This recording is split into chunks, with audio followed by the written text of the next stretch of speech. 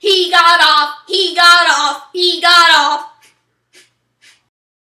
No, no, no, stop guessing answers this instant. But I was doing it right. I think you're not paying attention at all. Yes, I am. You're just being annoying, so think straight, lady.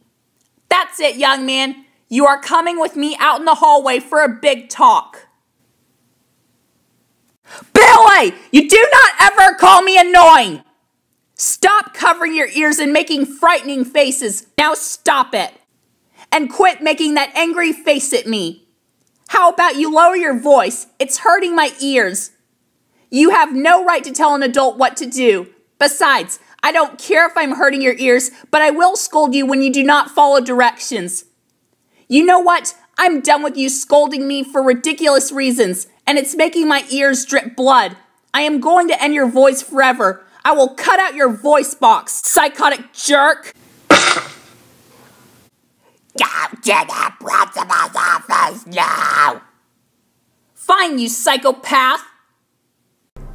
Billy, I just saw you on cameras cutting out Miss Derek's voice box. You know that's illegal. Why on earth would you do such a violent thing?